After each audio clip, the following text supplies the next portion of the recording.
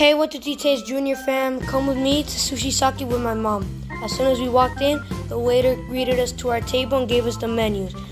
I started off with the water, and our appetizer was a tuna tartar, Fuego with carrots too. The thing was bomb. I got a Miami Heat roll, while my mom got the Dragon roll. 100% recommended.